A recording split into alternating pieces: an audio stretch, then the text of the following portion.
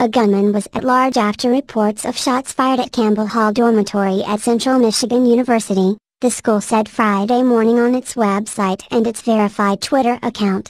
The suspect, described as a 19-year-old wearing mustard yellow jeans and a blue hoodie, is considered armed and dangerous, and people are advised to take shelter, law enforcement and school officials said. Schools in Mount Pleasant, where the university is located, are in secure mode, meaning all interior doors are locked, blinds drawn and no one allowed to enter buildings, according to Jennifer Verleger, Mount Pleasant Public Schools superintendent officials at McLaren Central Michigan Hospital said it's also on lockdown.